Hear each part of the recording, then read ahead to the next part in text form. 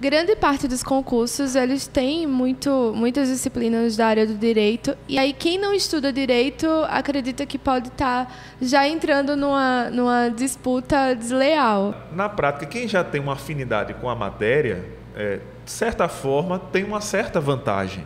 Mas essa vantagem pode ser superada sim. Pode ser superada com técnicas de estudo voltado para concurso, com a estratégia certa, pode ser superada. Qualquer pessoa é, é capaz de conseguir, porque concurso, é, vamos desmistificar, não é para aqueles que são mais inteligentes. São informações, uh, conhecimento que você tem que ter para uh, conseguir aquele resultado naquelas provas.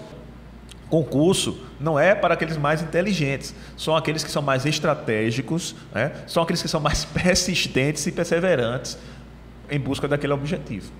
Quando a gente fala de estratégia, é, é inevitável pensar também na questão do tempo. Tempo para o estudo para concurso. Como é que é quando a gente tem rotinas diferentes, pessoas que têm tempos diferentes para os estudos? O tempo, é, ele pode ser um inimigo ou pode ser um aliado também da gente.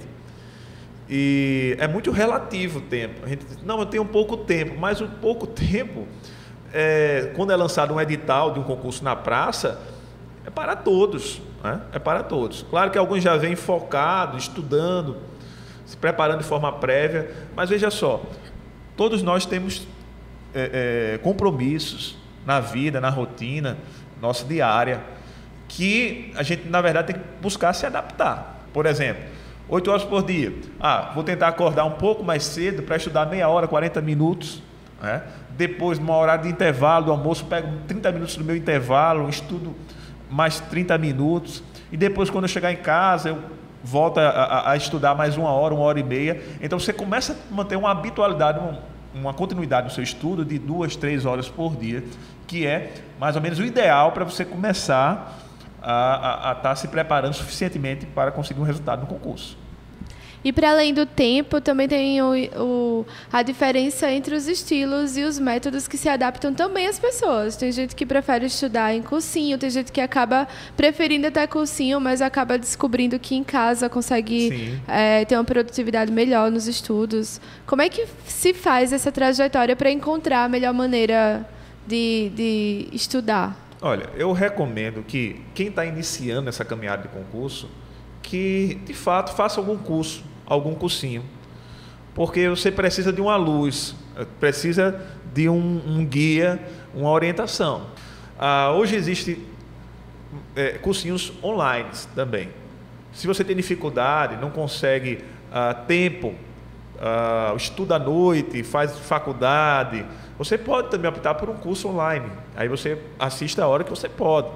Mas temos também cursinhos presenciais. E qual a vantagem do curso presencial?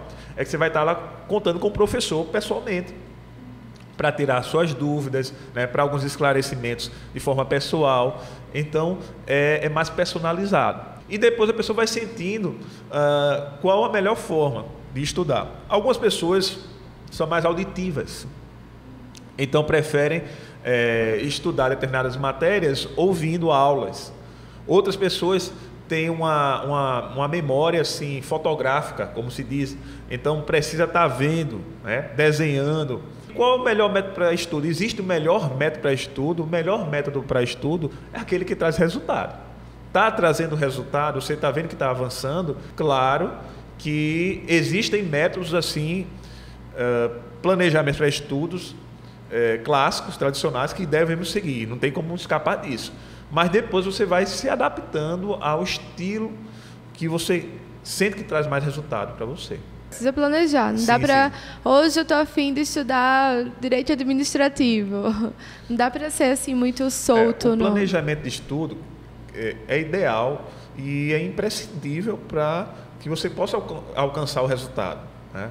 Por exemplo, você tem um edital, que são 10 matérias, cada matéria 10 assuntos, ou seja, são 100 assuntos. Né? Um edital com 10 matérias, 10, 10 assuntos por matéria. Então, você tem, no caso, dois, três meses até a, a data da prova. Então, você tem que fazer o planejamento de buscar cobrir esse edital, né? por exemplo, duas, três matérias por dia, dois assuntos, três assuntos por dia, para que ah, você tenha margem aí suficiente para cobrir o edital. É importante que você esteja com o edital em mãos, imprima o edital, né? a parte do conteúdo.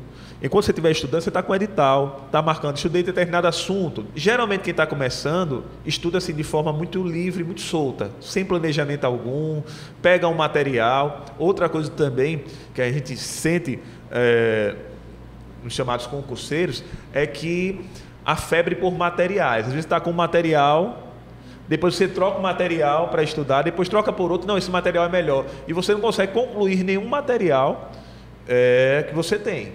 Então, mantenha a sua estratégia, mantenha o material que você tem, saiba que se esse material, material de fato é bom o suficiente, então mantenha ele. Né? O importante é persistência e continuidade.